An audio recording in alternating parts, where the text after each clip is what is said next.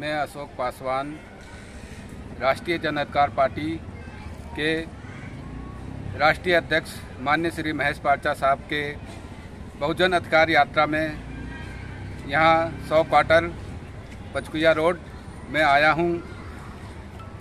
साहब ने जो बीड़ा उठाया हुआ है कि बहुजन समाज का मुख्यमंत्री दिल्ली का बन होना चाहिए, उनकी इन विचारधाराओं को सुन के उसको देख के मुझे बहुत अच्छा लगा। मैं इस पार्टी से जुड़ा हूँ और मैं वादा करता हूँ कि इस पचकुया रोड के पचकुया रोड में जो सौ क्वार्टर हैं, उन सभी को प्रचार प्रसार किया हुआ है। उनसे बहुत अच्छा इस समर्थन मिला है कि हाँ बहुत अच्छा काम कर रहे हैं, नेक काम कर रहे हैं। इसको आगे ले जाइए, पूरे हिंदुस्तान में फैलाइए बहुजन अधिकार यात्रा को।